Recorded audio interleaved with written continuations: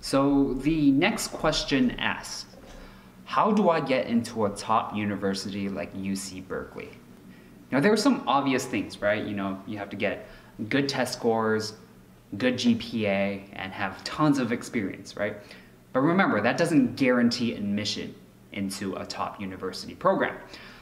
Now, I want you to think of it this way, right?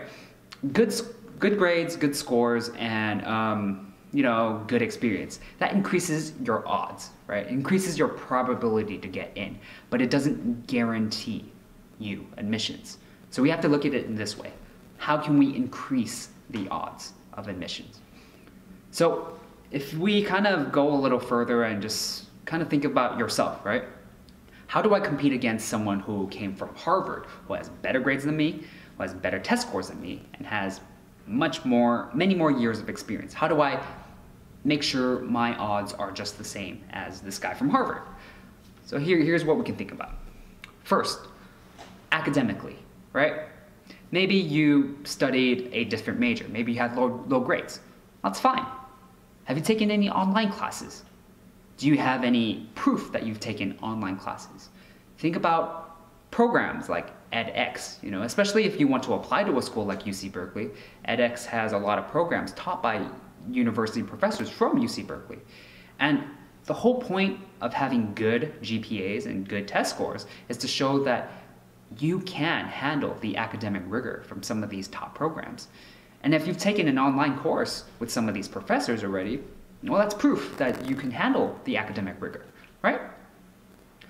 The second thing you have to think about is um, the amount of professional experience that you have. And that's a lot, that's some of the problems that some of these students have asked when they, when they ask about professional experience. So, well, just think about yourself, right? Have you been in any sports team, any extracurricular activities? In your classes, have you done any projects or research? That itself can be considered professional experience, right? And you have to think about a little further, right? For example, there was someone in my graduate school program that said she wanted to uh, transition into public policy, but she never mentioned her work experience at Goldman Sachs because she thought it was not relevant to government related work. But come on, Goldman Sachs, think about it, finance. That's a huge part of government work. So why, did, why don't you mention those, those experiences, right? And that's why I always tell some of these students, list out all of your experiences and pick out some key areas that you think that can, that, that can apply to the program that you are trying to go for. Now, some people might say, I only had experience in dance. Well, is it dance production? Because if it's dance production, that's, those are key leadership and management skills that you can apply. That's different, isn't it? Now, the third part, um, and this is probably the part that would make you more unique your personal experience. Some people say, you know, I'm not interesting. You know, I don't think there's anything that the admissions would care about. Think about it.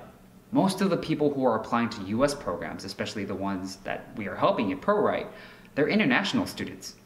International students, you bring a lot of unique experiences that some people in the admissions committee probably never experienced in their entire life, right?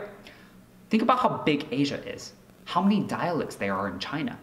These are all unique to us. It might not be unique to you, but it's definitely unique to your school and the program that you're trying to apply for. So remember, you're trying to think about what makes you stand out, right? What makes you unique, not to yourself, but from people in the admissions committee. And ultimately, you want them to, again, to remember you.